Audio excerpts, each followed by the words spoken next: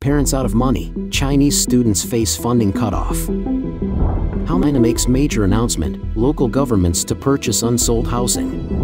Brawl breaks out at Jilin Police Academy, over 20 students involved in dormitory fight.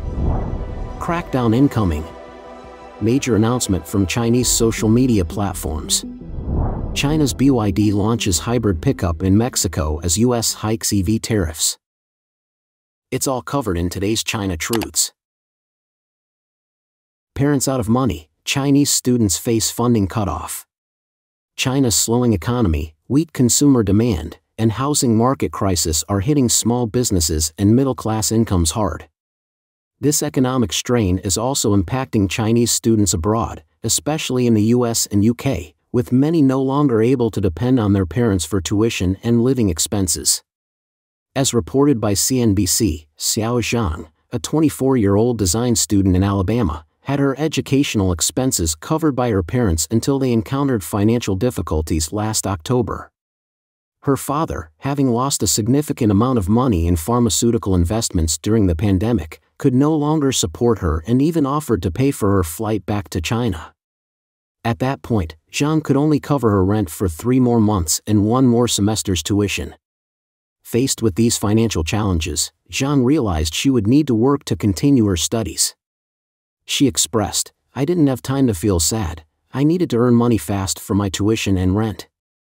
After a month of job hunting, she secured a temporary job in another state and started working daily from 7 a.m. Despite the exhaustion and lack of time for her studies, Zhang was able to earn enough to pay for the next semester. Zhang's story is increasingly common as China's economy remains sluggish. Bloomberg has spoken to many Chinese students facing similar challenges due to their parents' financial woes at home, struggling with the high cost of foreign tuition. Emily Xiong's story is similar, she had to consider cheaper alternatives like Malaysia despite preferring the UK, as her family could no longer afford her education. According to CheersU, an educational consultancy in New York, before the pandemic, Chinese students seldom faced financial barriers to studying abroad. However, recently, 10% of the students they counsel have had to alter their plans due to a lack of funds. Economists say these difficulties underscore the fragility of China's middle class, which has little to fall back on during economic downturns. Many families have been lulled into a false sense of security by years of rapid growth, lacking the diversified investments that wealthier families might have. In this context, a tag study abroad funding cutoff had become a trending topic on Chinese social media, especially as garnered over 4.6 million views on Xiaohongshu, a Chinese platform similar to Instagram, since last year, reflecting the growing number of Chinese students turning to social media for advice and support as their family fortunes dwindle. The CCP has yet to address a multi year housing crisis that has tied up 70% of family assets, leaving many households vulnerable and affecting their children studying overseas. How China makes major announcement, local governments to purchase unsold housing. China's real estate sector is struggling under a mountain of bad debt, largely due to collusion between government officials and businesses. According to a report from Bloomberg on May 15, insiders reveal that the Chinese government is considering a massive and ambitious bailout plan, where local governments would buy up millions of unsold homes to save the beleaguered market. It could take months to finalize if approved. The State Council is gathering input from various provinces and agencies. While the government has dabbled in smaller pilot projects to manage excess inventory through state funds, this new initiative would be on a much larger scale. The plan also involves local state owned enterprises, which would use state bank loans to buy large numbers of unsold homes at a discount from developers in distress, converting these into affordable housing. China's Ministry of Housing and Urban Rural Development hasn't commented on these developments. Bloomberg also notes that this move could signal a significant shift in China's economic strategy. This year, the collapse in home sales, down 47% in just four months, has left the unsold housing stock at an eight year high, exacerbating the crisis and threatening millions with unemployment or reduced earnings. Investors are awaiting further details from the government, especially after the Chinese Communist Party's recent pledge to find new solutions to the housing crisis. Following this announcement, the Bloomberg Track China Real Estate Index has climbed 14%. Earlier this year, the People's Bank of China launched a 100 billion yuan, about 13.9 billion US dollars, initiative to help eight cities buy unsold properties for low rent projects. But as of March, only a fraction of the intended loans had been issued, reflecting the bank's and local government's reluctance. Several major cities, including Hangzhou, have recently scrapped buying restrictions to boost the market. Moreover, over 50 Chinese cities have launched trade in policies for housing, but only a handful involve government supported buyback schemes. A recent Nikkei Asia column highlighted that the crisis is now reaching the upper echelons of Chinese politics, with Evergrande seen as the epicenter. Should Evergrande collapse, it might leave the public footing the bill for a slew of bad loans. Brawl breaks out at Jilin Police Academy, over 20 students involved in dormitory fight. On May 14, a brawl involving over 20 students at the Jilin Judicial Police Officers Vocational College sparked widespread outrage after a video quickly went viral on Weibo and Douyin. The videos showed some people being beaten and lying injured on the floor, causing chaos. In the video, one who was beaten wore a gray shirt, with Police Academy clearly marked the video's caption described the scene as campus bullying and assault at Changchun City's Jilin Judicial Police Officers Vocational College, with multiple injuries. Responding to the incident on May 13, the college told the New Yellow River that they were investigating and would soon issue a formal statement. Meanwhile, a Douyin user with apparent ties to the affected students remarked, My nephew was among those attacked, and the matter is still unresolved. A Weibo user shared findings on May 13 about the career prospects for graduates of the college. In 2023, one employer offered auxiliary police positions requiring extensive screening and testing, with a starting salary of just 2,500 yuan, about 346 US dollars and 40 cents, per month before deductions, a far cry from the school's former glory days public records indicate that Jilin Judicial Police Officers Vocational College, approved by the Jilin provincial government and registered with China's Ministry of Education, offers a three year vocational program in policing.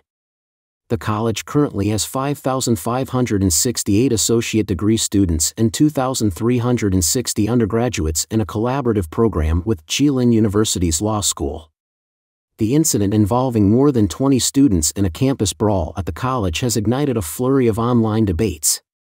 Commenting on the incident, a netizen from Guangdong criticized the college's response time, questioning, the assault occurred on the 2nd, and by the 14th, the school staff were still uninformed? What kind of police academy is this, where an incident remains unresolved for over 10 days? What are they teaching if they can't solve a case right under their noses? Douyin comments from Jilin residents included sharp critiques such as, if this isn't a crime, then what is? What hope is there for the public if these are the types of individuals becoming officers? The thought of these students entering the judicial system is a nightmare for ordinary citizens and the wrongfully accused. Will they be law enforcers or lawbreakers once they're in uniform? Comments about the broader implications included, it's horrifying to see them knowingly break the law, and corruption and wrongdoing are rampant across all sectors. Incidents of police officers brawling in public are not uncommon in China. For instance, a recent altercation between two traffic officers in Tianjin, who exchanged blows in full view of the public, prompted sarcastic comments about the eroding public trust in law enforcement.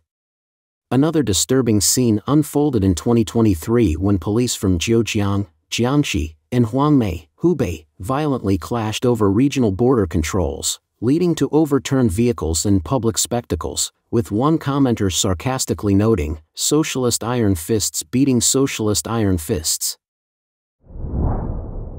Crackdown incoming. Major announcement from Chinese social media platforms. China's leading social media platforms, including Tencent, Douyin, Kuaishou, Weibo, Bilibili, and Xiaohongshu today announced a stringent crackdown on content that promotes flaunting wealth and worshipping money. This crackdown targets inappropriate displays of luxury homes, high end cars, cash, and luxury items, and includes boasting about being from a wealthy family or a nouveau riche. Such content is subject to removal and accounts may be banned.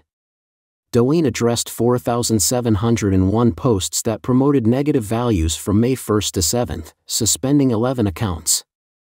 Xiaohongshu removed 4,273 inappropriate posts and shut down 383 accounts over the past two weeks, while Weibo acted against over 1,100 posts, issuing temporary or permanent bans to 27 accounts.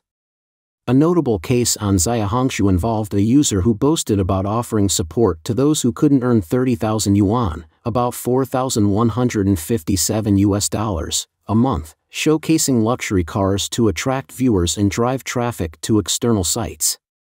This behavior, deemed to promote harmful values and potential fraud, led to the account being banned. Douyin reported cases of users displaying large amounts of cash or using them in profile pictures, indicating possible misuse of currency. There were also instances of minors dressed in expensive brands, emphasizing the price, which promoted unhealthy values. Weibo is ramping up efforts against content that glorifies luxury living through sensational marketing, including showcasing extravagant items or emphasizing one's wealthy background and elite social circles. This content often promotes exaggerated or false narratives of self made success and financial independence. Public records indicate that since 2021, the Chinese government has consistently focused on curbing displays of wealth and materialistic behaviors in its national internet purification initiatives, aiming to reform online culture and values. China's BYD launches hybrid pickup in Mexico as U.S. hikes EV tariffs. On Tuesday, May 14, Chinese automaker BYD introduced the Shark, a midsize hybrid electric pickup truck, in Mexico. This launch marks BYD's first product release outside of China, targeting North American competitors like Ford, General Motors, and Toyota, though it is currently only available in Mexico. BYD's chief of Americas, Stella Li, highlighted Mexico as the launch location due to its rapidly growing pickup truck market. The unveiling occurred just hours after U.S. President Joe Biden announced significant tariff increases on various Chinese imports, including a quadrupling of duties on Chinese EVs to over 100%, citing unfair competitive practices. Despite these developments, U.S. Trade Representative Katherine Tai indicated that the U.S. might consider tariffs on imports from Mexico as well.